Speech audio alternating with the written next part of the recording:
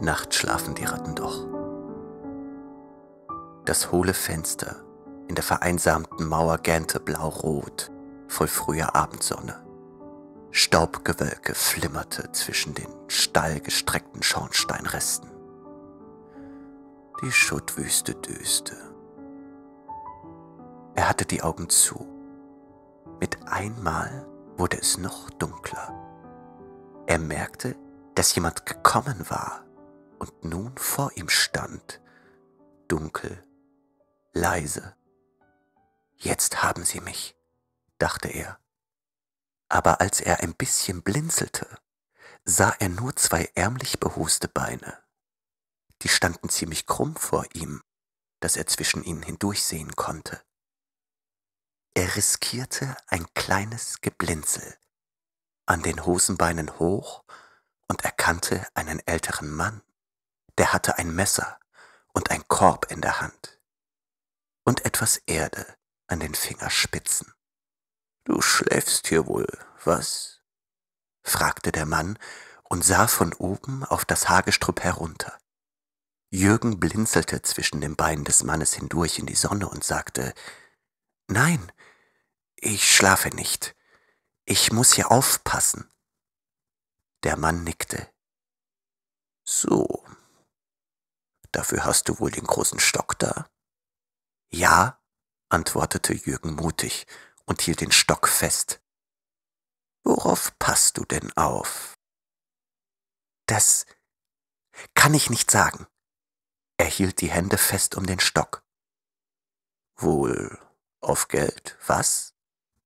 Der Mann setzte den Korb ab und wischte das Messer an seinem Hosenboden hin und her. Nein, auf Geld überhaupt nicht, sagte Jürgen verächtlich. Auf etwas ganz anderes. Na, was denn? Ich kann es nicht sagen. Was anderes eben. Na denn nicht. Dann sag ich dir natürlich auch nicht, was ich hier im Korb habe.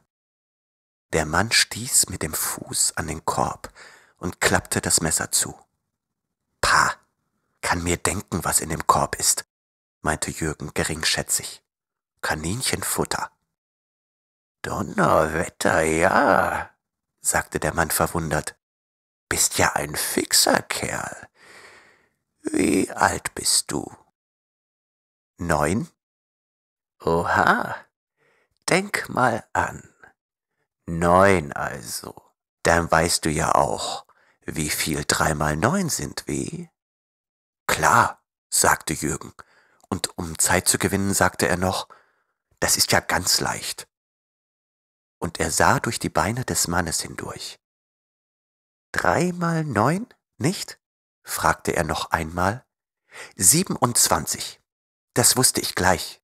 Stimmt, sagte der Mann und genauso viele Kaninchen habe ich. Jürgen machte einen runden Mund. Siebenundzwanzig. Du kannst sie sehen. Viele sind noch ganz jung. Willst du? Ich kann doch nicht. Ich muss aufpassen, sagte Jürgen unsicher. Immer zu? fragte der Mann. Nachts auch?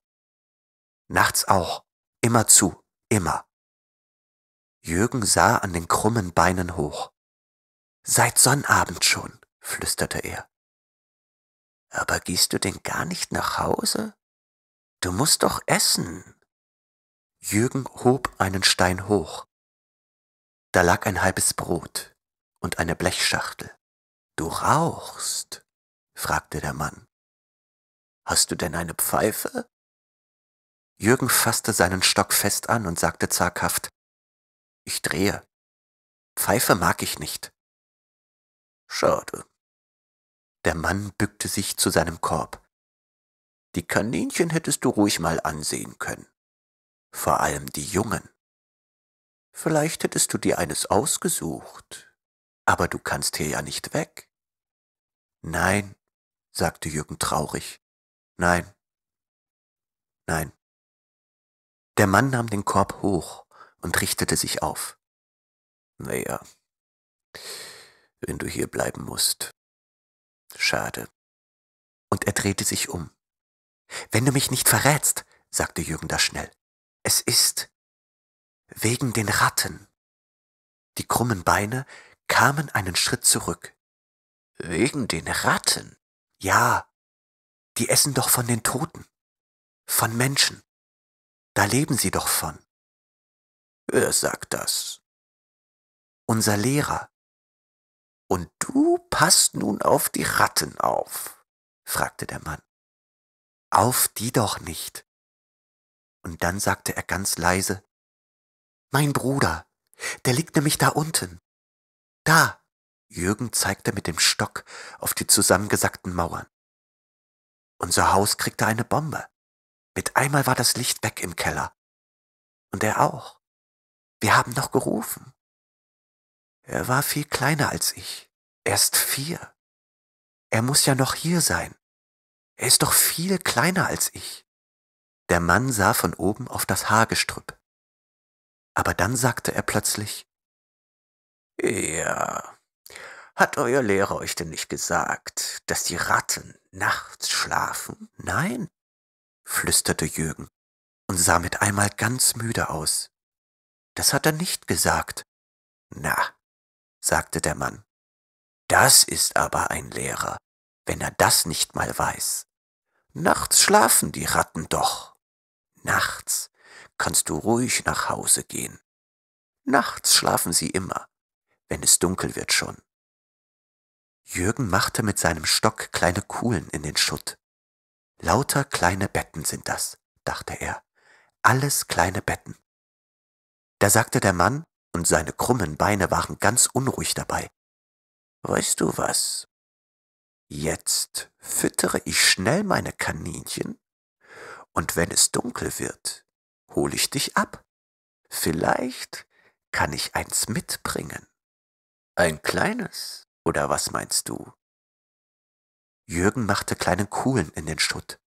Lauter kleine Kaninchen. Weiße, graue, weißgraue? Ich weiß nicht, sagte er leise und sah auf die krummen Beine. Wenn sie wirklich nachts schlafen? Der Mann stieg über die Mauerreste hinweg auf die Straße. Natürlich, sagte er von da. Euer Lehrer soll einpacken, wenn er das nicht mal weiß. Da stand Jürgen auf und fragte, wenn ich eins kriegen kann? Ein weißes vielleicht? Ich will mal versuchen, rief der Mann schon im Weggehen. Aber du musst hier so lange warten. Ich gehe dann mit dir nach Hause, weißt du? Ich muss deinem Vater doch sagen, wie so ein Kaninchenstall gebaut wird. Denn das müsst ihr ja wissen. Ja, rief Jürgen, ich warte. Ich muss ja noch aufpassen, bis es dunkel wird. Ich warte bestimmt und er rief, wir haben auch noch Bretter zu Hause, Kistenbretter, rief er, aber das hörte der Mann schon nicht mehr. Er lief mit seinen krummen Beinen auf die Sonne zu. Die war schon rot vom Abend, und Jürgen konnte sehen, wie sie durch die Beine hindurchschien. So krumm waren sie, und der Korb schwenkte aufgeregt hin und her. Kaninchenfutter war drin, grünes Kaninchenfutter. Das war etwas grau vom Schutt.